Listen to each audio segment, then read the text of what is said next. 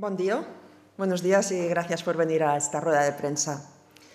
La clase media cada vez está más exprimida y está sosteniendo con su esfuerzo un gasto público desmedido que no se traduce ni en mejoras ni en protección para ellos ni sus familias. Son quienes más financian el estado de bienestar y los que menos bienestar tienen. Las familias españolas han cumplido su parte del trato durante años sin que los sucesivos gobiernos de España ni este ayuntamiento de Palma les haya dado nada a cambio. Y es el momento de devolverles su esfuerzo.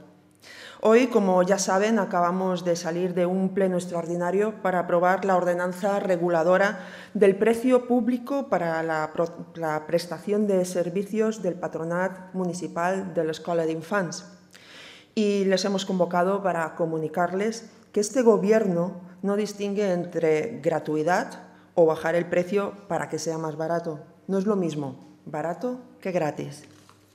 Y lo decimos porque tanto el alcalde Ila como la señora Armengol se han llenado la boca anunciando a bombo y platillo la gratuidad de las escoletas de 0 a 3 años cuando esto no es así.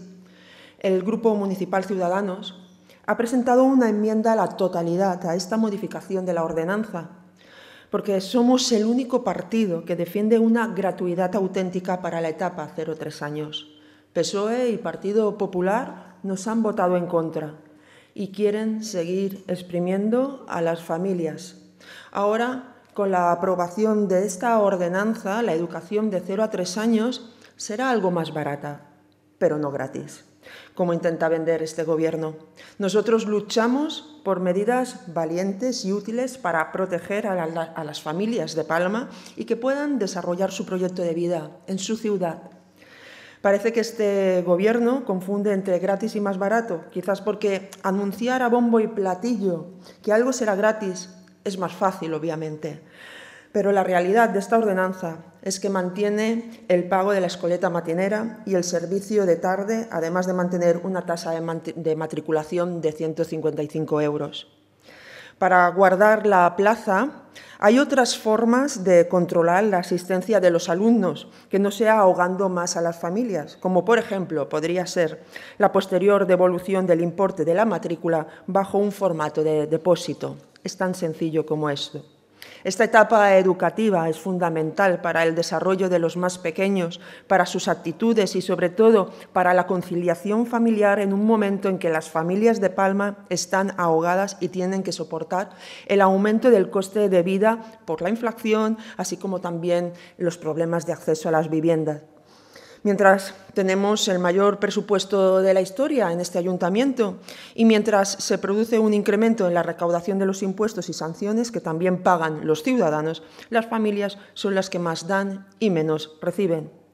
Nuestra pregunta es, ¿dónde van nuestros impuestos? ¿Dónde van los impuestos que pagan todos los palmesanos? Desde este grupo municipal lamentamos que tanto el PARTE como el Partido Popular hayan votado en contra de nuestra enmienda a la totalidad en la que pedimos que se garantice una gratuidad efectiva y no origine ningún gasto más a las familias de Palma.